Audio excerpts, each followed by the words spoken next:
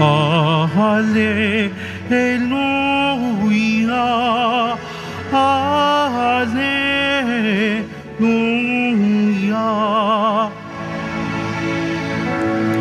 Dapat kayong magliwanag ng kabutiha'y mahayag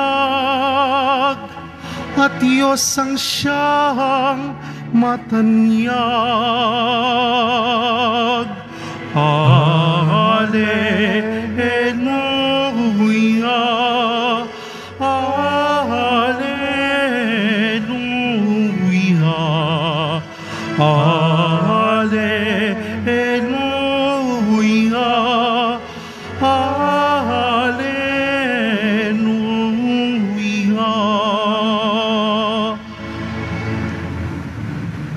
Sumainyo ang Panginoon. At sumaiyo rin.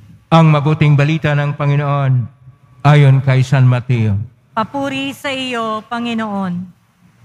Noong panahong yon, sinabi ni Jesus sa kanyang mga alagad, Kayo'y asin sa sanlibutan. Kung mawalan ang alat ng asin, paano pang mapapanauli ang alat nito? Wala na itong kabuluhan, kaya itinatapon na lamang at niyayapakan ng mga tao. Kayo'y ilaw sa sanlibutan. Hindi may tago ang isang lunsod na nakatayo sa ibabaw ng burol. Walang nagsisindi ng ilaw at naglalagay nito sa ilalim ng takalan. Sa halip, ay inilagay ito sa talagang patungan upang matanglawan ng lahat ng nasa bahay. Gayon din naman, dapat ninyong paliwanagin ang inyong ilaw sa harapan ng mga tao upang makita nila ang inyong mabuting gawa at luwalhatiin ang inyong amang nasa langit. Ang mabuting balita ng Panginoon. Pinupuri ka namin, Panginoong Heso Kristo. Magsiupo po tayong lahat. Isang mapagpalang araw po sa inyong lahat. Purihin po natin ang ating pong Isus Nazareno. Ngayon, ginugunita natin ang isang OFM o isang Franciscano na matanyag na santo, San Antonio di Padua. At siya ay nakilala sa kanyang katapatan. Sa atin pong unang pagbasa, sinasabi ni San Pablo sa kanyang panungsulat sa taga-Korinto, unang kapitulo, versikulo 18 hanggang 22, na dapat magiging matapat tayo na hindi tayo magalinlangan na oo at hindi, bagkos upo ang dapat nating ipahayag sa ating pagsunod sa ating Panginoong Isos. Sapagkat ayon pa sa Salmo 118,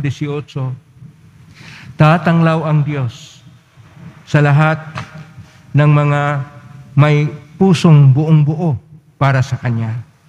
Kaya sa atin pong Ibanghilyo ngayon, ni San Mateo, Kapitulo 5, verso 13 hanggang 16. Itong pagiging matapat at buo sa ating pananalig, sa ating pagpapahayag ng ating buhay panampalataya ay kagaya ng asin at ilaw.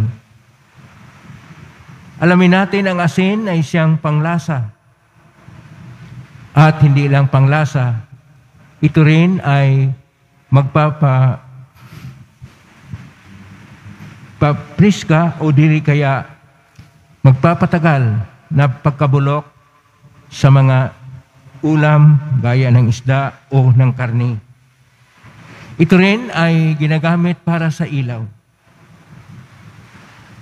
At ang asin ay napakahalaga na bahagi sa panahon ng Roman Empire at panahon ng ating Panginoong Isus nung sinasakop ang Israel ng Roman Empire.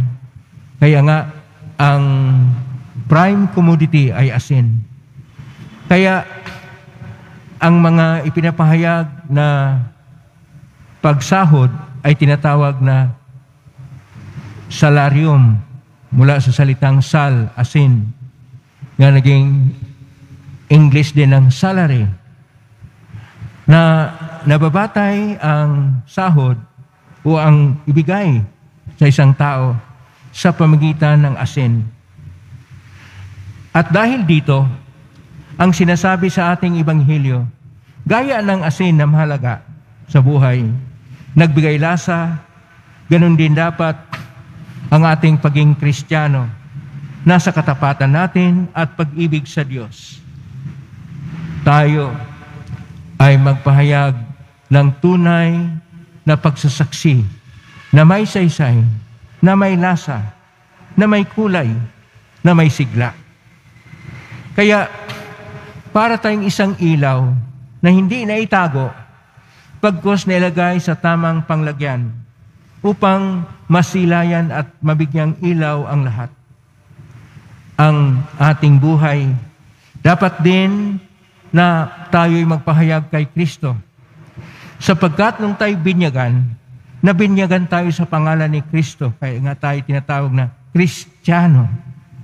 Hindi lang tayo imahin at larawan ng Diyos, ayon sa Genesis Kapitulo 1, verso 26. Tayo ay Kristiyano.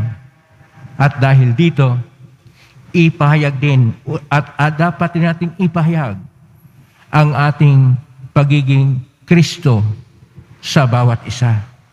Na ibig sabihin ng pagiging Kristo, tayo ay una sa lahat magpahayag ng pag-ibig sapagkat iyon ang kautusan ng ating Panginoon. Kaya sinasabi niya, Ebanghelyo ni San Juan, Kapitulo 15, verso 12, Nagbibigay ako sa inyo ng panibagong utos, mag-ibigan kayo gaya ng pag-ibig ko sa inyo. Pangalawa, sa pagiging kristyano, tayo ay handang makipagkapwa-tao at gagawa ng mabuti. Nung nakita ng Panginoon ang mga tao na gutom, lima ka, libo ka tao, mahirap pakainin. Pero sa pakarampot na lima na tinapay at long isda, dahil sa kanyang pagtugon sa pangailangan ng tao, ay kanyang napakain ito. At gumawa rin siya ng paraan ng lahat na may mga kapansanan, may sakit, o dili kaya kung ano man ang kalagayan ng kanilang buhay, ay kanya pong pinagaling, kanya pong pinalayas ang, ang mga demonyo, kanya pong binuhay ang patay. Siya ay nagpapahayag na gagawa ng mabuti sapagkat matapat siya sa pagtugon at sa pagsunod sa misyon na mula sa Diyos na Ama na nagpadala sa Kanya. Binigkas siya na salita para sa atin upang may payag sa atin ang mabuting balita. Dapat rin tayo na hindi lang gagawa ng mabuti, magpahayag ng mabuting balita sa ating kapwa. Yun ang pagiging Kristiyano. At kung tayo ay laging nakasindi sa ating mga puso ng ating pananalig at panampalataya sa Diyos, dahil ang ating pag-ibig sa Diyos ay napahayag sa ating pagmamahal sa ating kapwa-tao, ang pagmamahal sa ating sarili. Ang Kristo na dapat nating maipahayag sa ating buhay ay napahayag dahil ikaw ay nagmamahal, gumagawa ng mabuti, at tumutulong sa ilangan ng tulong.